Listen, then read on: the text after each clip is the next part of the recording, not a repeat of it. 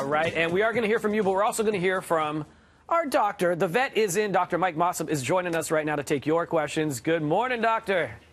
Hi, how are you guys? We're great. How you doing? Oh, well, thanks. I'm doing well. Thanks very much for having me. I'm Thank sure you. you are mm-hmm. inundated with questions right now, right? Everything from how do I groom my dog to, you know, when it comes to physical distancing, walks in the park. What has been the most prominent question, the most asked? Yeah, so I, I mean, a lot of it is really just how do I get access to veterinary care, right? Um, obviously, everybody uh, has had to change how things are operating these days, and veterinary clinics are, are part of that. Um, we've had to adapt our own uh, processes as well. So, uh, really, that's the big one. Okay, so speaking of, it's telehealth for pets, and it's called treatwellpetcare.ca. So how does that work? Is it a phone call question? Is it video? Yeah, so that's that's actually our regular practice, and we run a membership-based in-home veterinary service in Ottawa. Uh, we do a lot of telemedicine both before the pandemic, and uh, we've certainly ramped that up currently. There's also uh, something called Kabo Health, and uh, that's an initiative that was running in April. It was started by a company called Kabo, who make uh, fresh uh, dog food from human grade ingredients. They arrange for home delivery, and uh, they have asked us to kind of come in and help them field some of those phone calls and get that initiative up and running.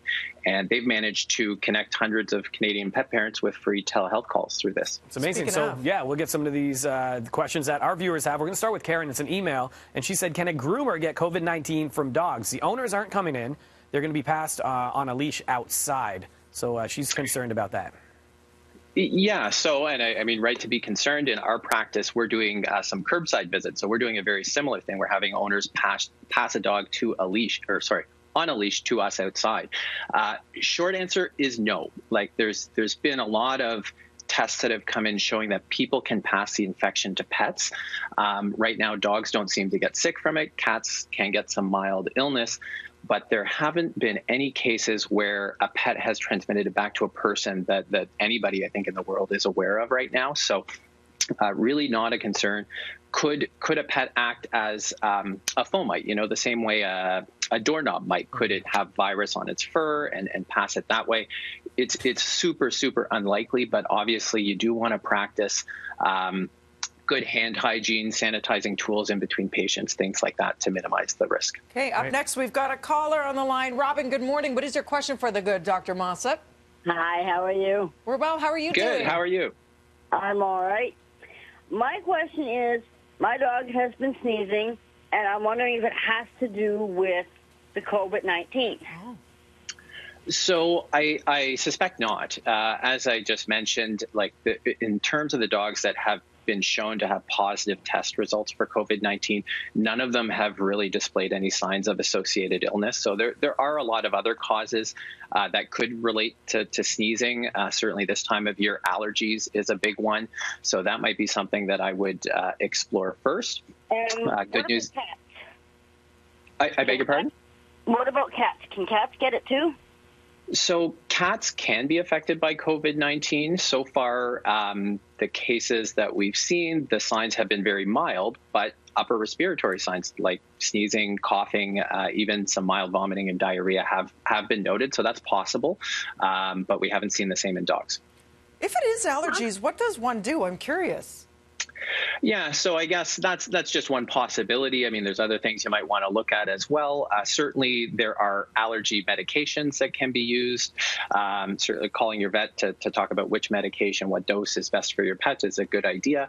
Um, you know, the good news is if it's fairly mild, um, often you don't have to do anything. Uh, you know, if this is something that's come up and is kind of uh, you know mild and, and doesn't last very long, you may just want to wait it out. But if it's uh, getting serious, certainly if your dog is having uh, discharge, you know, anything coming out of its nose, uh, I would certainly contact a veterinarian to, to get into specifics. Okay, thanks. And Great. thanks, Robin, for the call. We've got another email. Yeah, this one's coming from Murray. Murray says, I have a small dog. He is 12 years old. He's developed a limp. I was wondering if CBD oil is an option for treating joint pain in a dog. Thank you.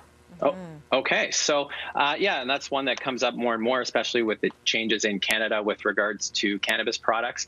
Right now, veterinarians aren't legally allowed to prescribe CBD. Basically, there's no um, approved veterinary products, and it really hasn't been tested in pets. So, I think there are probably some other options you could explore first. Um, you know, there are both some pharmaceuticals and some other uh, supplements, things like uh, omega fatty acids or fish oil, glucosamine, chondroitin that have been proven to be safe in pets and, and to have good effect. So I would probably look at those other options first. Um, you may want to speak to your veterinarian directly about CBD as kind of a, a, last resort. There are some cases where I've seen it used in elderly pets and palliative care settings. Um, but again, it is fairly untested at this point. Okay, up next, we've got a phone call from Tammy. Good morning, Tammy. What is your question for Doctor? Oh, hi, good morning. Good morning. How Hi. are you? Oh, not bad, thanks. Um, I have a quick question. So I have two dogs. One is young. Okay. He's two years old. His name is Zeus. And Okay. a 14-year-old, his name is Quincy. So we Okay. give we give the boys equal treats and equal toys, but the young one takes them all. So Okay. is there something I can do to stop that from happening? Yeah, so I'm, I'm not sure if you're talking about just treats or regular meals, but um, you, Meals, he's good. sorry. Sorry, treats Okay. only. Meals, they're fine. Yeah. Okay. Um, I, I mean, I, I think the best thing to do is to work on, uh, you know, just some some basic obedience, right? And I, I'm sure you guys have done lots of training already, but um, you know, if you could work on a if, if you could work on a really good just uh, kind of sit down stay command you may be able to get zeus to kind of wait patiently while you do give uh, a few treats to the older guy and kind of give them both a fair opportunity so that would be my my best advice certainly the training is a, a process right it takes a little bit of time lots of uh, repetition positive reinforcement that kind of stuff Okay. Thank Good you. luck, Tammy. Another Okay. question, Doctor. I- Uh, what about the fact that uh, there's? This is interesting. My dog is loving the fact that we're home all the time. Will she go through separation anxiety once things return to normal? Should we try leaving her alone sometimes to get her used to it again? That's from Emily. Thanks, Emily. Yeah, and um, I mean, I, I think that's a valid concern. Obviously, there's been a lot of changes in terms of everybody's lifestyle, and pets are not always great with change. But um, you know, I'm I'm hoping that most pets this won't be an issue when things kind of start to get back to normal, especially if it happens in a more gradual fashion. But if your pet is, let's say, um, you know, a rescue pet, if they already have some anxiety or separation anxiety issues, um, certainly it could be exacerbated. Uh, doing little practice walks, I think, would be a good idea, right? So maybe uh, right now, uh, just going out for a walk for 10 or 20 minutes, uh, leaving her there at home, and uh, making sure she's okay with those kinds of circumstances before things really start to progress. You know, And- Doctor, sorry, go ahead. Yeah, go ahead. There's one from Todd, too. My Yeah. dog needs to update his rabies vaccine. Should pet owners still be taking their pets to non emergency exams for shot updates, physicals, etc.? Yeah, so right now, uh, because the government is only allowing essential services to operate, I realize that's starting to change uh, as of this week, but veterinarians are only allowed to administer urgent care.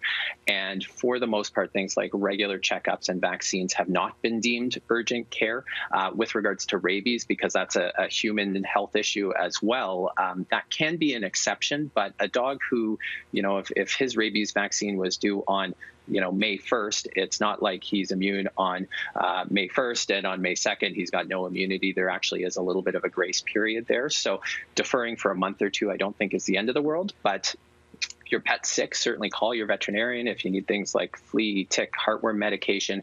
Uh, there are ways that we can administer care and even dispense medication uh, using things like telemedicine. So. Doctor, we do have to wrap up, but before we go, we have about 15 seconds for this. Um, can I pet someone else's dog if I'm at the dog park? That's a lot of questions we're getting from people.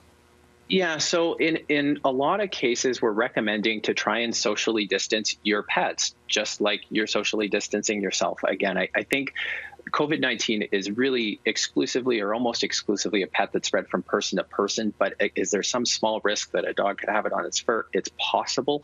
So, um, you know, trying to keep your pets with your family unit, I think, is the best plan. But um, I realize it's it's a challenging thing to do, right? Especially at the park when your dog's running off leash. So, That's so true. Amazing. Thank Thanks you so so much much. for Yeah. taking the time this morning, and you answered a lot of great questions. yeah. okay. Thank you very much. I Stay appreciate it. safe. Thank you. Coming up.